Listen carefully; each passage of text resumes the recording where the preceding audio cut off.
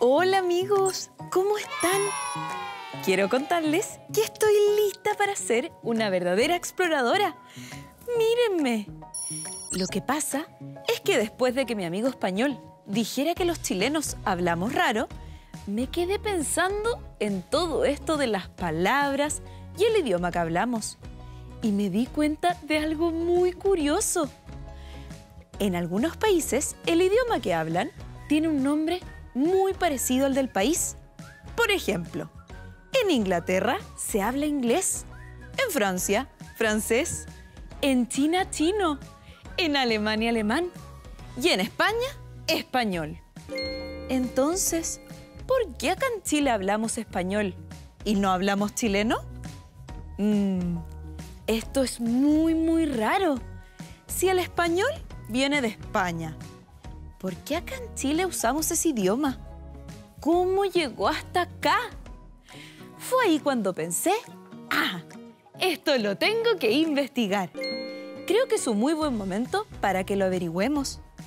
Mm, ¿Les parece que viajemos juntos al pasado para entenderlo mejor? ¡Increíble! Vamos a donde comenzó todo. Ustedes y yo viajaremos juntos. Aquí vamos.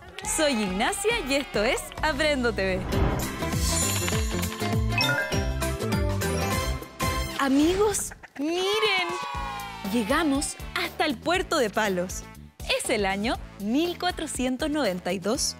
Desde acá inició su viaje Cristóbal Colón y un grupo de navegantes españoles que querían llegar hasta las Indias. Ellos pensaban que si navegaban a través del Océano Atlántico, llegarían hasta ese lugar. Pero no fue así.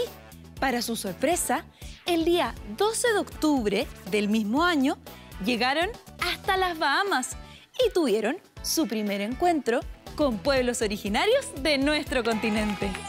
Uf, amigos, no saben lo que averigüé. Estos españoles fueron los primeros europeos en llegar a América, donde ya vivían algunos pueblos. Y por eso a ese día se le llamó Día del Encuentro de los Dos Mundos y se celebra hasta hoy. Desde ahí en adelante, diferentes grupos de españoles se dedicaron a explorar el territorio, llegando a diferentes países. Esto hizo que años más tarde encontraran Chile, pasando a conquistar y explorar parte de nuestro territorio. Y esperen, en este libro encontré algo muy curioso. Dice que Pedro de Valdivia fue el primer español en comenzar con la conquista de Chile. Y desde ahí en adelante se comenzó a transmitir parte de la cultura de los españoles a los pueblos originarios que vivían en nuestro país. Y fue así como llegó el idioma español hasta Chile. Pero esperen, acá parece que los españoles también aportaron con las ciudades, con algunos juegos y su religión. Pero mmm, parece que no entiendo muy bien de qué se trata todo esto. ¿Qué podríamos hacer para entenderlo mejor? ¡Increíble! Me dieron una gran, gran idea. ¿Les parece que llamemos a alguien del pasado para que nos ayude? Buenísimo. A la cuenta de tres vamos a decir muy, muy fuerte Pedro de Valdivia para que venga hasta acá. Uno, dos, tres. Pedro de Valdivia, ven aquí.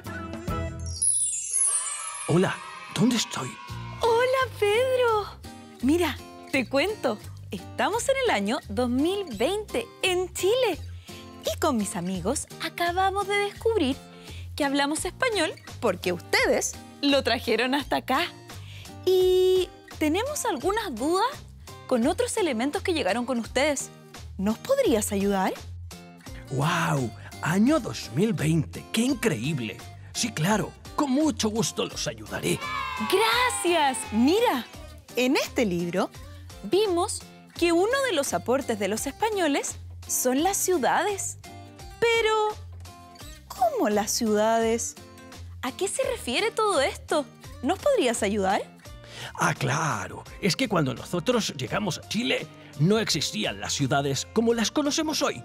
La primera que fundamos es Santiago, que tiene el centro, la plaza de armas, y desde allí se extiende la ciudad. De hecho, este es el plano que hicimos. Miren la pantalla. ¡Wow! ¡Qué increíble! Desde los españoles viene la forma de nuestras ciudades y los planos que nos ayudan a ubicarnos. Ahora que lo pienso, todas las ciudades y pueblos en Chile tienen en el centro una plaza. Eso sí que es increíble. Y, Pedro, ¿qué nos podrías decir sobre la religión? ¿Qué pasó con eso? Ah, ese es otro elemento muy importante. Nosotros éramos muy católicos y queríamos que ustedes también pudieran conocer nuestra religión. Por eso trajimos a muchos sacerdotes y religiosos para expandir nuestras creencias. ¡Claro! Ahora entiendo todo. Por eso es que existe la catedral. Y también es que hay iglesias a lo largo de todo Chile. Ahora entiendo que si bien hay muchas religiones diferentes en nuestro país, es por eso que se dice que la Virgen del Carmen es la patrona de Chile y existen lugares como Chiloé que tienen muchísimas iglesias. Y sobre los juegos, ¿qué nos puedes decir? ¿Ustedes jugaban en su época? ¿A qué jugaban? Ese es uno de mis temas favoritos. Nosotros disfrutamos mucho del juego para pasar el tiempo libre y es por eso que les enseñamos a sus antepasados juegos como el luche, el ajedrez, la lotería y las damas. ¡Oh, eso es increíble! Yo siempre jugaba al luche con mis amigos en el colegio. Nunca pensé que eso venía de los españoles. Y a mi abuelo le encanta jugar a la lotería. Estoy segura que él no tiene idea que esto es un aporte de los españoles. Sin falta, hoy mismo se lo cuento.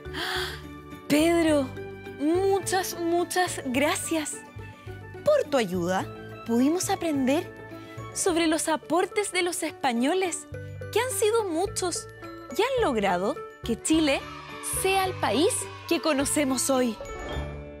Hoy día aprendimos muchísimo sobre los aportes de los españoles a nuestra sociedad chilena.